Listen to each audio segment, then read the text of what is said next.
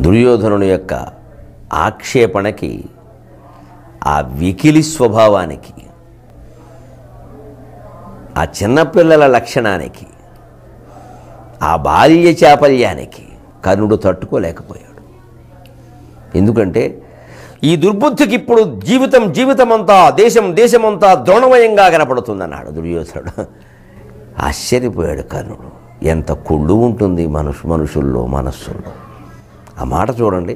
ఈ దుర్బుద్ధికి అంటే భీముడికి ఇప్పుడు ప్రపంచమంతా జీవితమంతా సైన్యమంతా ద్రోణమయంగా కనపడుతుంది ఒక్కసారి ఆచార్యుళ్ళాంటి వాడి దాటుకో దాటికి తట్టుకోలేక శిష్యుడు శిష్యప్రాయుడు ఆయన భీముడు కాస్త కొంచెం ఆలోచనలో పడడు. ఆయన ఏం ధర్మరాజులాగా వెనక్కి వెళ్ళలేదు అక్కడే ఉన్నాడు.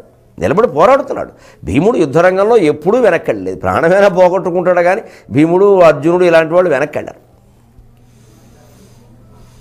అలా నిలబడిన వాడు కాస్త సాయం దొరక్క ఏమిటి సైన్యం ఎలా అవుతుందో అటు ఇటు చూసేసరికి మన వాడు రెచ్చిపోతున్నాడు అప్పుడు.